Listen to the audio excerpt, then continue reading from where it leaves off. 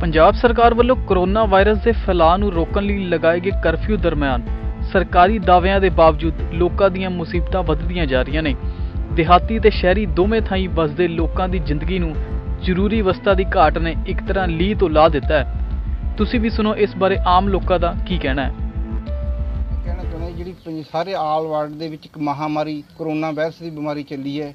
ਇਹ ਬਹੁਤ ਖਤਰਨਾਕ ਬਿਮਾਰੀ ਹੈ ਤੇ ਗਰੀਬ ਲੋਕ ਆ ਜਿਹੜੇ ਬੜੇ ਇਸ ਦੇ ਵਿੱਚ ਪਿਸ ਰਹੇ ਨੇ, ਜਿਨ੍ਹਾਂ ਦੇ ਘਰਾਂ ਵਿੱਚ ਕੋਈ ਰਾਸ਼ਨ ਨਹੀਂ, ਕੋਈ ਮਿੱਟੀ ਦਾ ਤੇਲ ਨਹੀਂ, ਕੋਈ ਹੋਰ ਸੰਬੰਧ ਨਹੀਂ। ਉਹਦੇ ਸੰਬੰਧ ਵਿੱਚ ਜਿਹੜਾ ਸਿੱਖ ਸੈਂਟ ਸੈਲ ਸੋਲਜਰ ਸਕੂਲ ਤਲਵੰਡੀ ਸਾਹਿਬ, ਉਹਦਾ ਉਪਰਾਲਾ ਕੀਤਾ ਹੈ ਕਿ ਗਰੀਬ ਲੋਕਾਂ ਨੂੰ ਥੋੜਾ ਥੋੜਾ ਉਹਨਾਂ ਦੀ ਲੋੜ ਮੁਤਾਬਕ ਰਾਸ਼ਨ ਵੰਡਿਆ ਜਾ ਰਿਹਾ ਹੈ ਤੇ ਉਹਨਾਂ ਦਾ ਇਹ ਅਸੀਂ ਧੰਨਵਾਦ ਕਰਦੇ ਹਾਂ ਤੇ ਇਹੋ ਜਿਹੇ ਦਾਨੀ ਸੱਜਣਾਂ ਨੂੰ ਅਪੀਲ ਕਰਦੇ ਹਾਂ ਵੀ ਇਹ ਸੰਸਥਾਵਾਂ ਅੱਗੇ ਆਉਣ ਤੇ ਗਰੀਬ ਲੋਕਾਂ ਦਾ ਕੋਈ ਨਾ ਕੋਈ ਭਲਾ ਹੋ ਸਕੇ।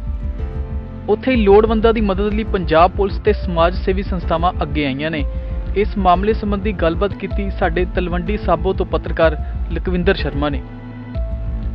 ਜਿੱਥੇ ਪਹਿਲਾਂ ਪੁਲਿਸ ਮੁਲਾਜ਼ਮ ਪੰਜਾਬ ਦੇ ਵਿੱਚ ਕਰਫਿਊ ਲੱਗਣ ਦੇ ਦੌਰਾਨ ਸਖਤੀ ਕਰਦੇ ਦਿਖਾਈ ਦੇ ਰਹੇ ਸਨ, ਹੁਣ ਉਹ ਪੁਲਿਸ ਮੁਲਾਜ਼ਮ ਸਮਾਜ ਸੇਵਾ ਤੇ ਉਤਰ ਆਏ ਹਨ ਔਰ ਉਹ ਜਿਹੜੇ ਗਰੀਬ ਲੋਕਾਂ ਦੀ ਪਛਾਣ ਕਰਕੇ ਇਲਾਕੇ ਦੀਆਂ ਸਮਾਜ ਸੇਵੀ ਸੰਸ- ਸੰਸਥਾਵਾਂ ਨੂੰ ਜਿਹੜਾ ਸਮਾਨ ਹੈ ਉਹ ਵੰਡਣ ਦੀ ਹਦਾਇਤ ਕਰ ਰਹੇ ਨੇ। ਅੱਜ ਮੇਰੇ ਨਾਲ ਮੌਜੂਦ ਨੇ ਤਲਵੰਡੀ ਸਾਬੋ ਦੇ ਐਸਐਚਓ ਸਾਹਿਬ ਜੋ ਜਿਨ੍ਹਾਂ ਨੇ ਪਿੰਡਾਂ ਦੇ ਵਿੱਚ ਸਰਵਾ ਕਰਕੇ ਗਰੀਬ ਲੋਕਾਂ ਨੂੰ ਜਿਹੜਾ ਸਮਾਨ ਹੈ ਉਹ ਭੇਜਿਆ ਆਪਾਂ ਗੱਲ ਕਰ ਲੈਂਦੇ ਆ ਮੇਰੇ ਨਾਲ ਮੌਜੂਦ ਨੇ ਥਾਣਾ ਮੁਖੀ ਨਵਪ੍ਰੀਤ ਜੀ। ਕੀ ਕਹਿਣਾ ਸਰ ਤੁਸੀਂ, ਕੀ ਕਹਿਣਾ? ਇਹ ਨਾ ਹੁਣ ਕਰਫਿਊ ਪਤਾ ਇੰਪੋਜ਼ ਹੋ ਚੁੱਕਿਆ ਹੈ। ਹੋਮ ਡਿਲੀਵਰੀ ਗਵਰਨਮੈਂਟ ਵੱਲੋਂ ਅਲਾਉਡ ਕਰ ਦਿੱਤੀ ਗਈ ਹੈ ਵੀ ਕੋਈ ਰਾਸ਼ਨ ਦਾ ਦੁਕਾਨ ਜਾਂ ਕੋਈ ਵੀ ਹੋਮ ਡਿਲੀਵਰੀ ਕਰਨਾ ਚਾਹੁੰਦੇ ਉਹ ਕਰ ਸਕਦੇ ਜਾ ਕੇ। ਹੁਣ ਜਿਹੜੇ ਗਰੀਬ ਪਰਿਵਾਰ ਆ, ਜਿਨ੍ਹਾਂ ਦੇ ਮਤਲਬ ਰਾਸ਼ਨ ਲੈ ਨਹੀਂ ਸਕਦੇ, ਉਹਨਾਂ ਦੀ ਫਾਈਨੈਂਸ਼ੀਅਲ ਕਪੈਸਿਟੀ ਨਹੀਂ ਹੈਗੀ ਉਹਨਾਂ ਨੂੰ ਸਮਾਜ ਸੇਵੀ ਸੰਸਥਾਵਾਂ ਅੱਗੇ ਆ ਕੇ ਮਤਲਬ ਰਾਸ਼ਨ ਵੰਡਣਾ ਚਾਹੁੰਦੀਆਂ, ਘਰ ਘਰ ਜਾ ਕੇ ਡਿਲੀਵਰ ਕਰਨਾ ਚਾਹੁੰਦੀਆਂ। ਉਹਨਾਂ ਨੂੰ ਅਲਾਉ ਕਰ ਰਹੇ ਨਾਲ ਇਕੱਠ ਨਹੀਂ ਕਰਨ ਦਿੱਤਾ ਜਾ ਰਿਹਾ, ਇਸ ਲਈ ਪੁਲਿਸ ਮੁਲਾਜ਼ਮ ਨਾਲ ਜਾਂਦੇ ਉਹਨਾਂ ਦੇ।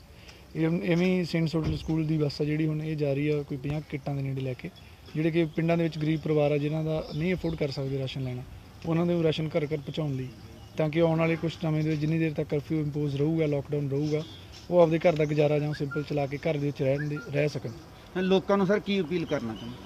ਲੋਕਾਂ ਨੂੰ ਇਹ ਆਪਦੇ ਘਰੋਂ ਘਰ ਹੀ ਰਹੋ, ਤੁਹਾਡੀ ਜ਼ਰੂਰਤ ਦੀਆਂ ਜਿਹੜੀਆਂ ਚੀਜ਼ਾਂ ਤੁਹਾਡੇ ਬਾਹਰ ਮੂਹਰੇ ਆਉਣਗੀਆਂ, ਅੰਦਰੋਂ ਆ ਕੇ ਕਲੈਕਟ ਕਰੋ ਜਾਂ ਅੰਦਰ ਹੀ ਕਲੈਕਟ ਕਰੋ ਬਟ ਕੱਟ ਨਾ ਪਾਓ, ਜੇ ਕੋਈ ਆਉਂਦਾ, ਇੱਕ ਰੇੜੀ ਆਉਂਦੀ ਹੈ ਜਾਂ ਕੋਈ ਵੀ ਚੀਜ਼ ਆਉਂਦੀ ਹੈ, ਉਹਦੇ ਆਲੇ ਦੁਆਲੇ ਕੱਟ ਨਾ ਕਰੋ, ਕਿਉਂਕਿ ਕੰਟੈਮੀਨੇਸ਼ਨ ਕੱਟ ਨਾਲ ਹੀ ਹੁੰਦੀ ਹੈ। ਆਪਣਾ ਬੇਸਿਕ ਮੋਟਿਵ ਹੀ ਇਹ ਹੈ ਵੀ ਕੱਟ ਨਹੀਂ ਕਰਨਾ ਹੈਗਾ ਆਪਾਂ ਕਿਤੇ। ਹਾਂਜੀ, ਇਹਨਾਂ ਐਸਐਚਓ ਸਾਹਿਬ ਦਾ ਕਹਿਣਾ ਕਿ ਗਰੀਬ